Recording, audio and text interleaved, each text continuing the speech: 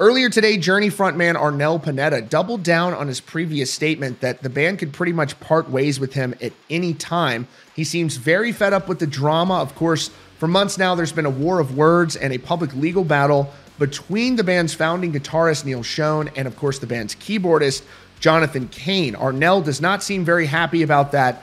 And earlier today, he shared a screenshot of a headline that characterized some recent social media posts from Neal Schon as saying that Arnel would be a nobody had he never joined the band, and he shared a screenshot of that headline.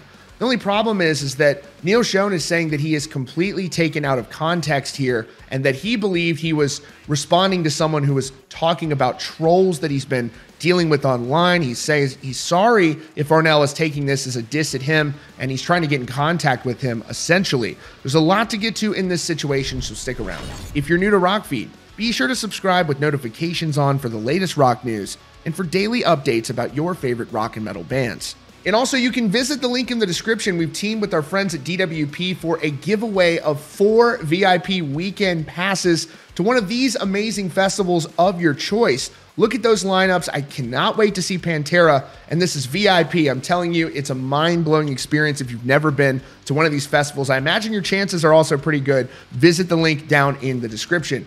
So earlier today, Arnel shared this screenshot of this headline, which reads Neal Schon believes Arnel Pineda would be a nobody without Journey. Arnel shared that with the caption that says, He may be right. Like I said, if they're tired of this nobody, I'm just a phone call away.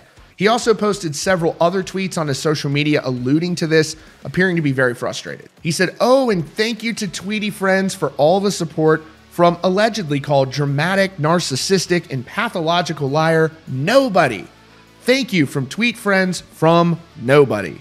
For his part, Neal Schon is pushing back hard on this. He's saying that this is nonsense. He, in fact, never said it. It's being taken out of context. He says he's sorry to Arnel if he took this as a diss at him. And this all started from an exchange a couple of days ago.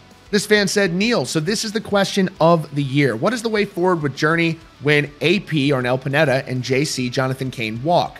Which myself and a lot of people fully expect to happen after the tour. Neal Schon responded and said, won't happen. And this tweet right here appears to be the one that was upsetting to Arnel and led to that article. Neal Schon is saying that although that tweet that he's replying to appears to be referencing some members of the band, that he might have misread it and he didn't intend this to be a diss at Arnel in any way. This user said, Things always work out the way they're supposed to.